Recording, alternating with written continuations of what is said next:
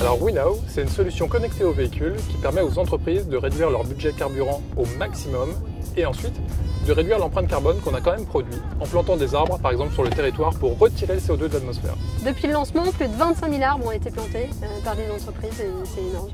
C'est grâce à ce petit boîtier connecté que les conducteurs vont connecter dans leur voiture euh, qui se branche sur la prise diagnostique. Et derrière, on va pouvoir coacher le conducteur avec une application mobile pour l'aider à réduire sa consommation de carburant. Je viens de recevoir une notification disant que c'est mon meilleur trajet urbain, donc c'est chouette.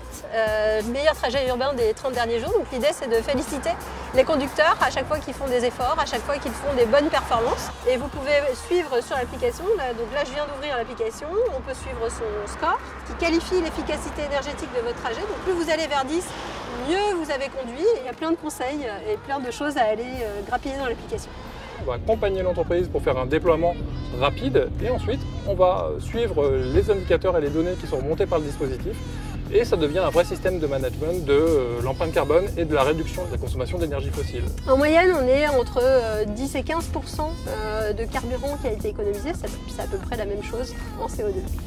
Moveo présente l'intérêt de réunir dans son écosystème tous les acteurs qui interviennent au niveau de la mobilité. Ça nous a permis de rencontrer les constructeurs automobiles, les acteurs euh, qui travaillent pour ces constructeurs automobiles et tous les acteurs qui vont apporter des innovations et des services connectés. Donc c'est vraiment un, levier pour se faire connaître avec une innovation, une approche euh, disruptive sur le carbone.